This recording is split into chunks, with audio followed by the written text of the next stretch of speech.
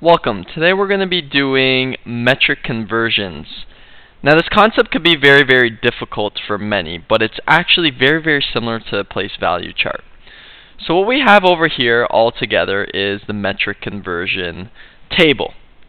As you can see over here to the left, starting from the left, we have our kilometers as our largest unit, our meters is our base unit, right in the middle, our decimeters right to the right of the meters are centimeters to next to the decimeters and millimeters as our smallest unit. Now as we know it always goes from left to right or right to left. Our base unit's always meters right in the middle. That's why at the end there's always the M. There's kilometers, decimeters, centimeters, and millimeters. Now over here there's two blanks. Now they stand for decameters and hectometers. But for today and with this grade level, we're not actually going to be knowing uh, about those units. But what you do need to know is that there are units within those slots. Okay? Now, when we take a look at this uh, metric conversion chart, uh, we can see that we have all the different types of units of measure.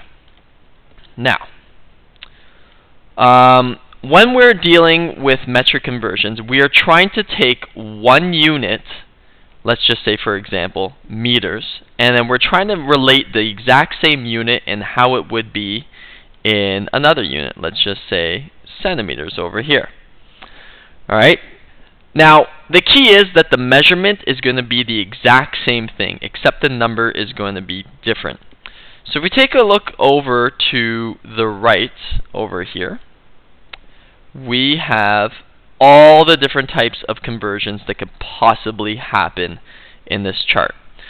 So, looking at the meter, we can know that 1 meter is equal to 0.001 kilometers. 1 meter is equal to 10 decimeters, 1 meter is equal to 100 centimeters, 1 meter is equal to 1,000 millimeters. This is the power of 10. So every time when we're going up in, in uh, measurements in each unit, it always takes 10 of them to get one of the next. So if we take a look over here at millimeters, it's going to take 10 millimeters to make 1 centimeter. It's going to take 10 centimeters to make 1 decimeter. It's going to take 10 decimeters to make 1 meter. It's going to take 10 meters to make 10 decameters is going to take 10 decameters to make 1 hectometer and 10 hectometers to make 1 kilometer. So it's always going with the power of 10 between each unit. Now if we need to go between two units from millimeters to decameters, we simply just have to multiply the other two by 10, so or by 10. So 10 times 10 is going to be 100. So it's going to take 100 millimeters to make 1 decimeter. And if we combine them all together, we have 100. So we have all these zeros. Now, how we do this and bringing it into questions is very, very, there's a simple method to it. And if you become very, very uh, versed in the metric conversion chart, especially using this one, it's actually very, very simple. So we have our questions over here. We have 1 meter equals blank centimeters. Now what we're going to do in this question is we're going to look at 1 meter right over here. All right, we're taking a look at the 1 meter. Now, in our chart, we need to determine where 1 meter is. And since it's 1, and we know what 1 meter is, it's simply going to go in the chart over here as 1. So that 1 equals 1 meter. Now, in order to make it into centimeters, we know that centimeters is off to the right by two points. So we have decimeters, then centimeters over here. Now, how are we going to figure out how many centimeters there are? We're simply going to add zeros in each of the uh, boxes until the last zero is in the centimeter box. So right here we have the number and it reads 100. And that's how many centimeters there are in one, in one meter. So our answer over here is 100 centimeters. So we add those zeros together over here. So 1 meter, we have 1 meter in the meters column. We put the zeros in underneath the decimeters column and the centimeters column. And then we have our answer. Put that all together, we read the number as 100. Okay? So another example over here is 7 meters. And the question is, how many decimeters is it? Alright, so we put our 7 in the meters column. And now we're going to go over, we can see that there's only one where in the next column over to the right is decimeters. We put a 0. And our answer, answer is simply 70 decimeters. Very simple so far. We're just adding zeros to this column, so 70 decimeters.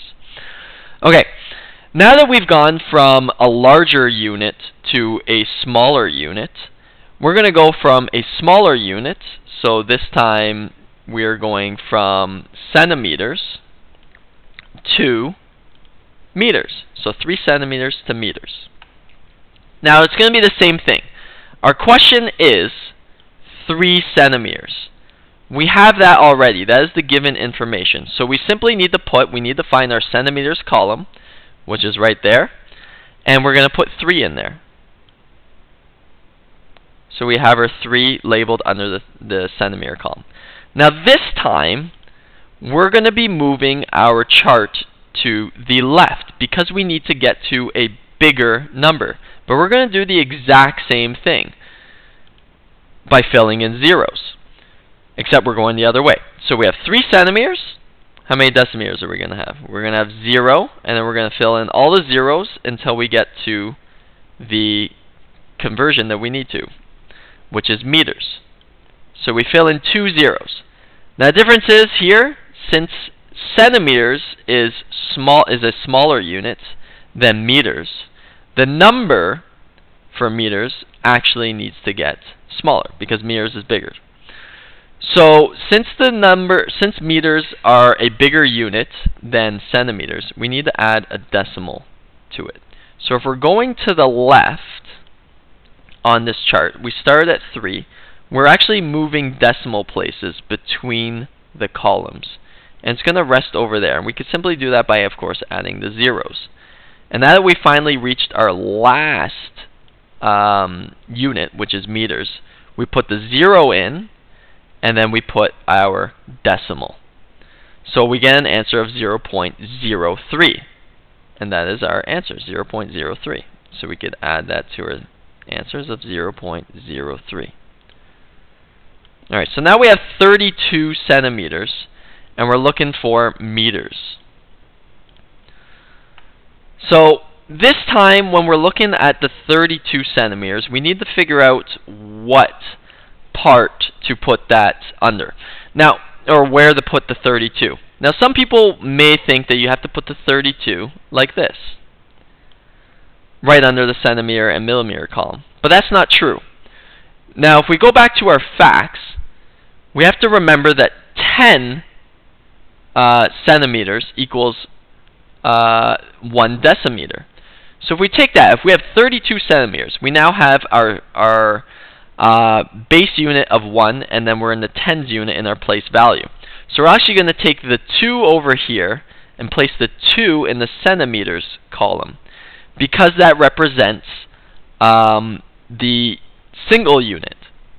And the 3 is going to go in the decimeters column, just like in a place value chart, which equals 10, because there's 10 centimeters. And in this case, there's 3, or, or 30 centimeters, so we have 32.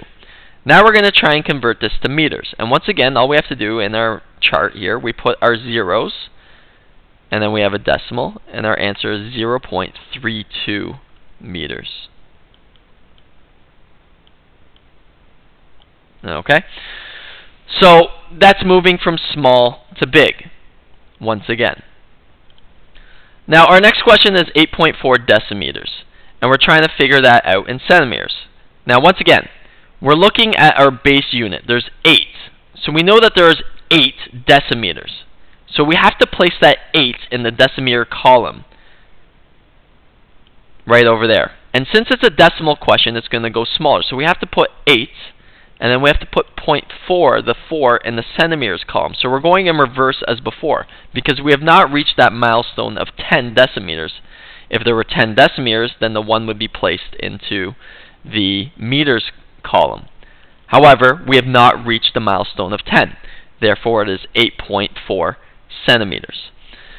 Uh, or, sorry, decimeters. Now, when we're trying to convert it to centimeters, once again, we're moving our decimal point to the right.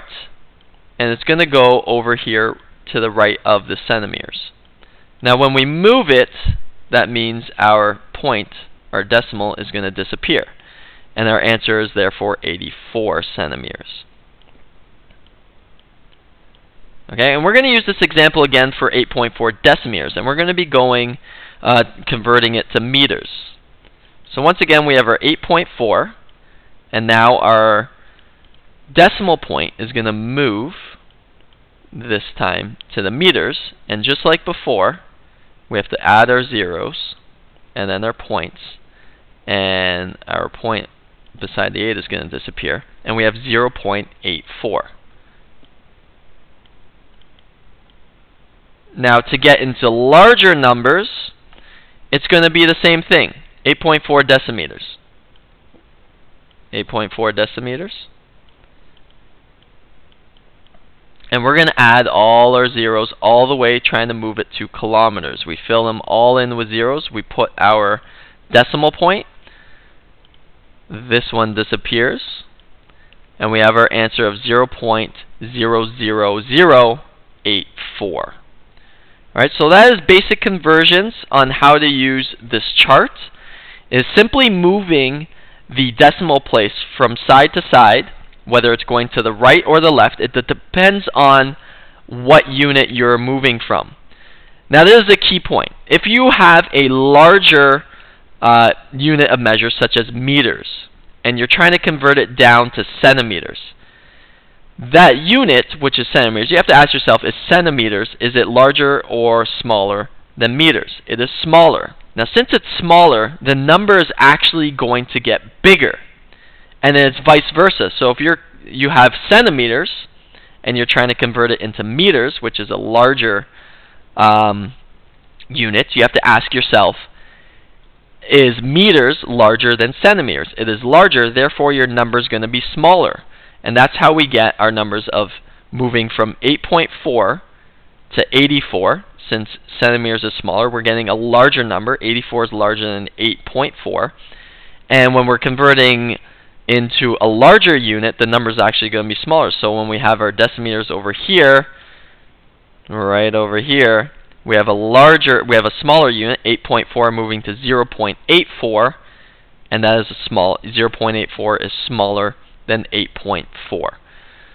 So this is basic metric conversions using, um, uh, basically it's like a place value chart, and it's very simple to use. All you're doing is adding zeros or moving the decimal place in order to understand um, where or which unit is going to be bigger or smaller.